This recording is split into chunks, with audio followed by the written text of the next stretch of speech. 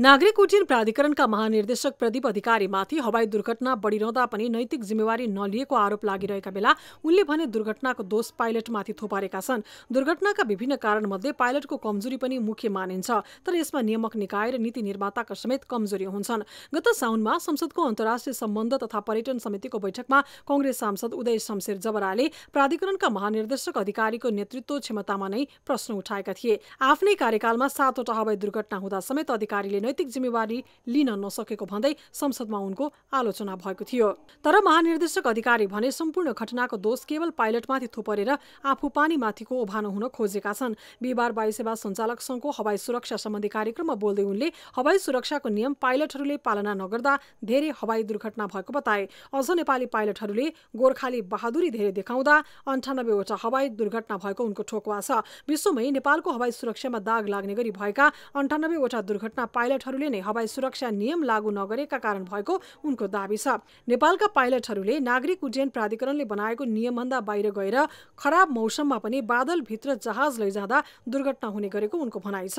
हाम्रा हामीले धेरै गुमाइसक्यौँ। अहिले हाम्रो प्रेसिडेन्टले भन्नुभयो इनफ इज इनफ होइन? हामीले धेरै गुमाइसकेका छौँ। धेरैवटा चाहिँ कहीँ नभएको क्रास चाहिँ नेपालमा भइदियो। यो मान्छेलाई भन्दाखेरि पनि यो यसरी हुन्छ भन्ने खालको त्यस्तो अनौठो खालको क्रासहरू नेपालमा भइदियो। होइन? त्यस कारणले चाहिँ यो धेरै गुमाइसकेको छ हामीले। अब अब चाहिँ नसोच्ने हो भने नगर्ने हो भने चाहिँ हामीलाई धेरै समयले हामीलाई धेरै पछि छोड्नेछ किनभने चाहिँ धेरै जस्तो क्राइसिसहरू हाम्रो के भइदियो भने चाहिँ सिफिट भइदियो। होइन? बादलभित्र छिरेर अथवा खराब मौसममा छिरेर जहाजहरू पहाडमा ठोकियो तपाईँको जङ्गलमा गएर ठोकियो। तर नेपालको सिभिल एभिएसनको नियम छ त तपाईँलाई भिएफआर फ्लाइटमा तपाईँ खराब मौसममा छिर्न पाउनुहुन्न तपाईँ हेरेर उड्ने है भनेर नियम त बनाएको छ त। अब कि सिभिल एभिएसनको डिस पाइलट पछाडि बस्नु पऱ्यो नजा नजा नजा भनेर बस्नु पऱ्यो होइन भने त योभन्दा बढी त के गरिन्छ र तालिम छ सेफ्टी एक्सपर्ट पाइलटहरू छन् तर स्टिल बादलमा छिर्नुहुन्छ यो गोर्खाली बहादुरी पनि धेरै भयो कि जस्तो लाग्छ मलाई। तपाईँ डेटा हेर्नुहोस् धेरै जसो सिनियर पाइलटहरू। एकदम आफ्नो जमानामा नाम कमाएको पाइलटहरूको चाहिँ डेथ भएको छ। हामीले धेरै राम्रो मान्छेहरू गुमायौँ। यो खालको बहादुरी पनि अब अब धेरै भयो कि। यतिवटा कुरो सिक्यो भने यो दुर्घटना कतिवटा कम हुने रहेछ भने मैले हिसाब गरिरहेको थिएँ। नाइन्टी एटवटा क्रास सिफिटको छ। महानिर्देशक अधिकारीले यसरी वर्षेनी हवाई दुर्घटना बढ्दा नेपालले अनुभवी पाइलट समेत गुमाइरहेको र राज्यले धेरै क्षति बिहोरेको बताए। अब हवाई उडानलाई सुरक्षित बनाउने विषयमा गम्भीर हुन आवश्यक रहेको उनको भनाइ छ। जहाजमा गम्भीर समस्या भएर हवाई दुर्घटना नभएको उनले दावी गरेका छन्। जबकि गत साउन नौ गते मौसम सफा हुँदा हुँदै पनि त्रिभुवन विमानस्थलमै सौरी एयरलाइन्सको विमान दुर्घटना भएको थियो। उक्त विमानमा सवार एक बालक सहित चालक दलका सदस्य र सौरी एयरलाइन्सकै सुरक्षा प्रमुख प्राविधिक प्रमुख लगायत कर्मचारी गरी अठार जनाको निधन भएको थियो। पाइलट भने भाग्यले बाँचेका थिए।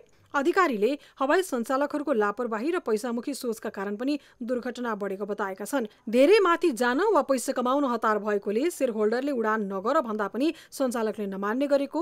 पछिल्लो दुई वर्षमा धेरै सेयर होल्डर पाइलटहरू हेलिकप्टर दुर्घटनामा मृत्यु भएको भन्दै उनले यस्तो लापरवाहीप्रति प्रश्न उठाएका छन्। सेयर होल्डर साथीहरू जो हुनुहुन्छ उहाँलाई एकदम हतार छ कि?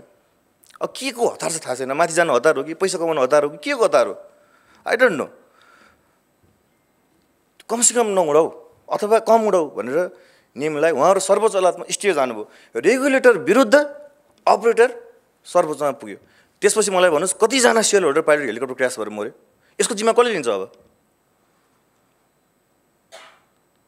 तपाईँहरूले अपरेटरले रेगुलेटर विरुद्ध रेगुलेटर ल्याएको सर्कुलर विरुद्ध मुद्दा हालेर कतिजना हेलिकप्टर पाइलट जो अनर थिए क्रास भएर मऱ्यो त्यो पाइलटको जिम्मा कसले लिन्छ? यो कुरा सोच्नुपर्छ कि पर्दैन? मान्छेको लाइफ जानु आफ्नो ठाउँमा छ धनको क्षति हुनु आफ्नो ठाउँमा छ देशको क्षति भएको त्यसको त्यसको क्षति भएको कसले चाहिँ परिपूर्ति गर्छ?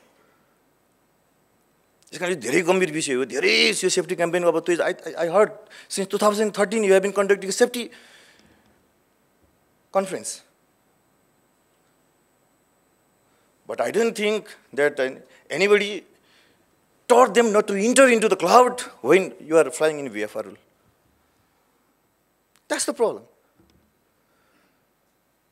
यो नियम चाहिँ त्यो उन्नी मान्छेले भन्दा अरू कसैले नि पालना गर्न सक्दैन यो कुरामा सचेत हुनु पऱ्यो यता संस्कृति पर्यटन तथा नागरिक उड्डयन मन्त्री बद्रीप्रसाद पाण्डेले पनि हवाई दुर्घटनामा पाइलटहरूकै दोष स्वीकार्दै उपदेश दिएका छन्। हवाई उडान सुरक्षित हुनका लागि पाइलटहरू नै कर्तव्यनिष्ठ हुनुपर्ने उनको भनाइ छ। पाइलट र इन्जिनियरले ड्युटीमा कर्तव्यनिष्ठ भएर काम गरेमा हवाई दुर्घटना आफै घट्ने मन्त्रीले बताए। नेपालको आकाश र नेपालमा सञ्चालनमा रहेका एयरलाइन्सहरू सुरक्षित रहेको सन्देश विश्वलाई दिनु जरुरी रहेको उनको भनाइ छ।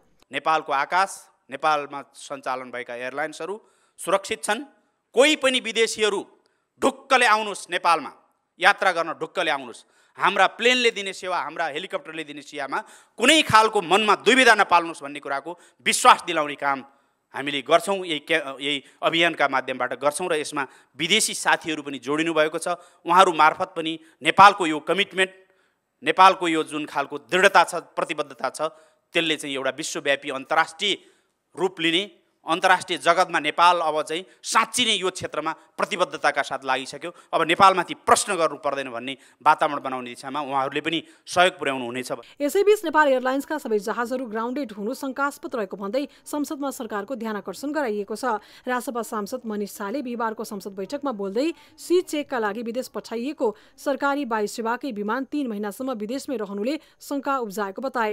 एक महिनाका लागि भनेर इटाली पठाइएको विमान नब्बे दिनदेखि उतै थन्काइ लगाइएको उनले बताए विदेशमा विमानको पार्किङका लागि दैनिक पाँच करोड रुपियाँ तिरेर राखिँदा राज्यले खाटा बेहोरिरहेको उनको भनाइ छ। नेपालको सरकारद्वारा सञ्चालित वा पब्लिक सेक्टरमा सञ्चालित एउटा मात्र एयरलाइन्स कम्पनी नेपाल एयरलाइन्सको सबै जहाजहरू ग्राउन्डेड भएको छ भन्ने कुरा। र विभिन्न क्षेत्रमा विभिन्न रुटमा इन्टरनेसनल रुटहरूमा सञ्चालित विभिन्न क्षेत्रहरूसँग नेपाली जनता वा पर्यटकलाई बोक्नको लागि सञ्चालित रुटहरूमा कतै पनि हाम्रो ध्वजावाहक उडिराखेको छैन नेपाल एयरलाइन्स उडिराखेको छैन भनेर। सी चेकको लागि एक महिनाको मात्र समय लिएर पठाइएको जहाज केही दिन दिल्लीमा राखियो र त्यहाँ कसैले देख्लान् कि भनेर लुकाउनको लागि इटाली लगियो। नब्बे दिन भइसक्यो इटालीको। नब्बे दिनभन्दा धेरै भइसक्यो। जहाँ दैनिक रूपमा हामी तिन हजार डलरभन्दा धेरै पार्किङ चार्ज मात्र तिरिरहेको छौँ र हालसालै हिजो आज मात्र आएको दैनिकीहरूको खबर सुन्दै गर्दा पढ्दै गर्दा के देखेको छ भने दैनिक रूपमा हामीले पाँच करोड रुपियाँभन्दा धेरै नोक्सानी बेहोरिरहेका छौँ। नेपालको हवाई उड्डयन क्षेत्रमा थुप्रै व्यतिथि छन्। कहिले कमिसनको चक्करमा वाइड बडी काण्ड गरिन्छ त कहिले चिनिया थोत्रा जहाज लिएर राज्यको अरबौँ रुपियाँ डुबाइन्छ। योभन्दा पनि हवाई नियमन फितलो हुँदा नेपालमा हवाई दुर्घटना झन् बढिरहेका छन्। गत साउनमा मात्रै दुईवटा हवाई दुर्घटना भए। पछिल्ला पाँच छ वर्ष यता भएका अधिकांश विमान दुर्घटना मौसमी कारण नभई मानवीय एवं प्राविधिक कारण नै भएको देखिएको छ। पछिल्लो चौध वर्ष यता बाह्रवटा ठूला विमान दुर्घटना भएका छन् भने एघारवटा हेलिकप्टर दुर्घटना भएका छन्। दुर्घटना बढिरहँदा नेपाली आकाशमाथि अन्तर्राष्ट्रिय प्रतिबन्ध समेत बढिरहेको छ। तर पनि नेपालको हवाई सुरक्षा नीति र सावधानीमा सुधार भएको देखिन्न।